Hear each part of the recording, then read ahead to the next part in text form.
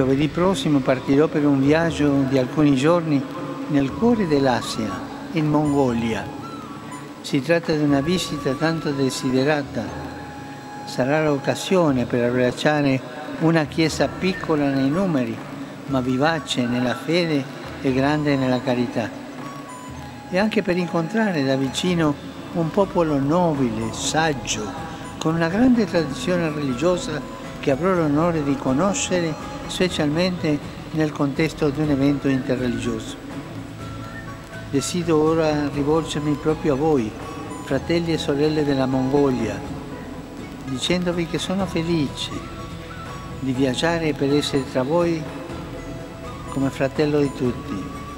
Ringrazio le vostre autorità per il cortese invito e quanti con grande impegno stanno preparando la mia venuta.